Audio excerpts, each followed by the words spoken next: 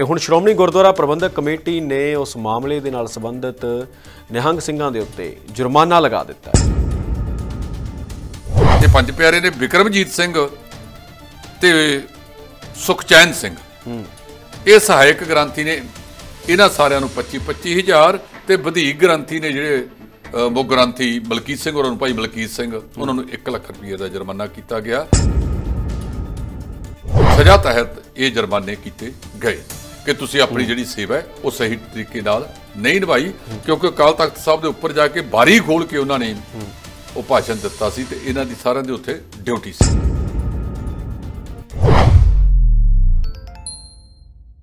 ਸ਼੍ਰੀ ਅਕਾਲ ਤਖਤ ਸਾਹਿਬ ਤੋਂ ਨਿਹੰਗਾਂ ਨੇ ਮਾਈਕ ਫੜ ਲਿਆ, ਫੜ ਕੇ ਆਪਣੇ ਆਪ ਦੇ ਵਿੱਚ ਹੀ ਵੱਡਾ ਬਿਆਨ ਦੇ ਦਿੱਤਾ ਜਿਸ ਤੋਂ ਬਾਅਦ ਦੇ ਵਿੱਚ ਮਾਫੀਆਂ ਮੰਗਣ ਦਾ ਸਿਲਸਿਲਾ ਵੀ ਆ ਗਿਆ। ਇਥੋਂ ਤੱਕ ਇਹ ਵੀ ਹੋ ਗਿਆ ਕਿ ਜਿਹੜੀ ਜਥੇਬੰਦੀ ਨਾਲ ਸੰਬੰਧਿਤ ਉਹ ਨਿਹੰਗ ਸਿੰਘ ਸੀ ਉਹਨੂੰ ਅਸੀਂ ਕਾਰਵਾਈ ਦੇ ਦਾਇਰੇ ਦੇ ਵਿੱਚ ਲੈ ਕੇ ਆਵਾਂਗੇ। ਕਾਫੀ ਕੁਝ ਚੱਲਿਆ ਤੇ ਹੁਣ ਸ਼੍ਰੋਮਣੀ ਗੁਰਦੁਆਰਾ ਪ੍ਰਬੰਧਕ ਕਮੇਟੀ ਨੇ ਉਸ ਮਾਮਲੇ ਦੇ ਨਾਲ ਸੰਬੰਧਿਤ ਨਿਹੰਗ ਸਿੰਘਾਂ ਦੇ ਉੱਤੇ ਜੁਰਮਾਨਾ ਲਗਾ ਦਿੱਤਾ ਹੈ। ਇਹ ਗੱਲ ਤੁਸੀਂ ਬਿਲਕੁਲ ਠੀਕ ਕਹਿ ਰਹੇ ਹੋ। ਹੂੰ। ਇੱਕ ਤਾਂ ਉੱਥੋਂ ਦੇ ਜਿਹੜੇ ਦੋ ਸਹਾਇਕ ਗ੍ਰੰਥੀ ਤੇ ਪੰਜ ਪਿਆਰਿਆਂ। ਹੂੰ। 10 ਸਟਾਫ ਮੈਂਬਰਾਂ ਨੂੰ 25 25000 ਰੁਪਏ ਦਾ ਜੁਰਮਾਨਾ ਸ਼੍ਰੀ ਅਕਾਲ ਤਖਤ ਸਾਹਿਬ ਵੱਲੋਂ ਕੀਤਾ ਗਿਆ ਹੈ। ਹੂੰ।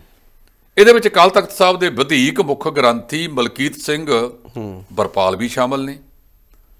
ਇਹਨਾਂ ਨੂੰ ਸ਼ਾਇਦ 1 ਲੱਖ ਹੋਇਆ ਹੈ। ਹੂੰ। ਕਮੇਟੀ ਦੇ ਵਿੱਚ ਭਗਵੰਤ ਸਿੰਘ ਧੰਗੇੜਾ। ਹੂੰ। ਆ ਸਾਡੇ ਨਾਭੇ ਦੇ ਨਾਲ ਪਿੰਡ ਆ ਧੰਗੇੜਾ। ਇਹ ਧੰਗੇੜਾ ਸਾਹਿਬ ਗੁਰਦੁਆਰਾ ਦੁਖਨਵਾਰਨ ਸਾਹਿਬ ਦੇ ਮੈਨੇਜਰ ਵੀ ਰਹੇ ਨੇ। ਉੱਥੇ ਮੁੱਖ ਮੈਨੇਜਰ ਨੇ।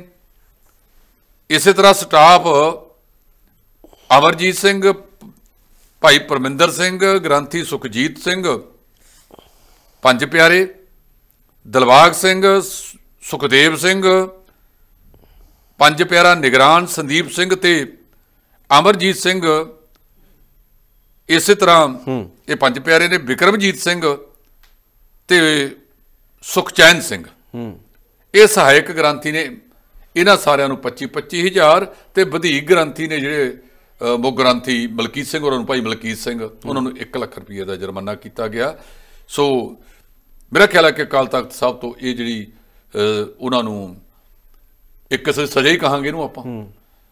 ਸਜ਼ਾ ਤਹਿਤ ਇਹ ਜੁਰਮਾਨੇ ਕੀਤੇ ਗਏ ਨੇ ਕਿ ਤੁਸੀਂ ਆਪਣੀ ਜਿਹੜੀ ਸੇਵਾ ਹੈ ਉਹ ਸਹੀ ਤਰੀਕੇ ਨਾਲ ਨਹੀਂ ਨਿਭਾਈ ਕਿਉਂਕਿ ਅਕਾਲ ਤਖਤ ਸਾਹਿਬ ਦੇ ਉੱਪਰ ਜਾ ਕੇ ਬਾਰੀ ਖੋਲ ਕੇ ਉਹਨਾਂ ਨੇ ਉਹ ਭਾਸ਼ਣ ਦਿੱਤਾ ਸੀ ਤੇ ਇਹਨਾਂ ਦੀ ਸਾਰਿਆਂ ਦੇ ਉੱਤੇ ਡਿਊਟੀ ਸੀ। ਤੇ ਨਿਹੰਗ ਸਿੰਘਾਂ ਤੇ ਕੀ ਕਾਰਵਾਈ ਹੋਈ ਹੈ ਜੀ? ਉਹ ਜੇ ਸੁਣਵਾਈ ਅਧੀਨ ਹੈ ਕੇਸ ਉਹਦੇ ਤੇ ਵੀ ਉਹ ਮੇਰੇ ਖਿਆਲ ਕੋਈ ਨਾ ਕੋਈ ਸਿੰਘ ਸਾਹਿਬ ਅਕਾਲ ਤਖਤ ਦੇ ਜਥੇਦਾਰ ਸਾਹਿਬ ਕੁਝ ਕਰਨਗੇ। ਨਿਡਰ ਹਾਂ ਨਿਰਪੱਖ ਰਹਾਂਗੇ। ਆਜ਼ਾਦ ਹਾਂ ਸੱਚ ਕਹਾਂਗੇ। ਗੱਲ ਕਰਾਂਗੇ ਸਿਆਸੀ ਹਵਾ ਦੀ।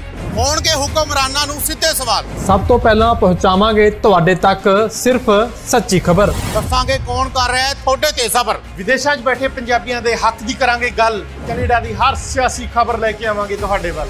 ਉਪਰਾਂਗੇ ਪੰਜਾਬ ਦੀ ਆਵਾਜ਼ ਬਣ ਕੇ। ਹੋਣਗੇ ਹਰ ਪਹਿਲੂ ਤੇ ਰੋਜ਼ ਚਰਚੇ। ਖੋਲਾਂਗੇ ਅੰਦਰੂਨੀ ਰਾਜ।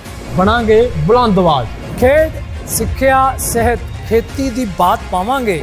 ਹਰ ਪਿੰਡ ਹਰ ਸ਼ਹਿਰ ਜਾਵਾਂਗੇ ਮਨੋਰੰਜਨ ਨਾਲ ਜੁੜੇ ਕਲਾਕਾਰਾਂ ਨਾਲ ਕਰਵਾਵਾਂਗੇ ਮੁਲਾਕਾਤ ਸੰਘਰਸ਼ਾਂ ਵਾਲੀ ਜ਼ਿੰਦਗੀ ਤੇ ਮਾਰਾਂਗੇ ਝਾਤ ਕੀ ਨੇ ਸਾਡੇ ਕਾਨੂੰਨ ਫਰਜ਼ ਤੇ ਅਧਿਕਾਰ ਕੀ ਕਰਦੀ ਹੈ ਸਾਡੀ ਸਰਕਾਰ ਕੀ ਹੈ ਤੁਹਾਡੀ ਮੁਸ਼ਕਲ ਦਾ ਹੱਲ D5 ਚੈਨਲ ਪੰਜਾਬੀ ਦੀ ਕਚਹਿਰੀ 'ਚ ਹੋਵੇਗੀ ਸਿਰਫ ਲੋਕਾਂ ਦੀ ਗੱਲ धर्म धरोहर सेहत और संस्कृति की होगी बात अब D5 चैनल हिंदी भी होगा सर D5 ਚੈਨਲ ਪੰਜਾਬੀ ਆਪਣੀ ਧਰਤੀ ਆਪਣੇ ਲੋਕ ਸਤਿ ਸ਼੍ਰੀ ਅਕਾਲ ਜੀ, ਮੈਂ ਹਾਂ ਕੁਲਰਾਜ ਰੰਧਾਵਾ ਤੇ ਤੁਸੀਂ ਵੇਖ ਰਹੇ ਹੋ D5 ਚੈਨਲ ਪੰਜਾਬੀ, ਜਿਹੜਾ ਲਾਂਚ ਹੋ ਚੁੱਕਾ ਹੈ ਹੁਣ ਕੈਨੇਡਾ ਵਿੱਚ।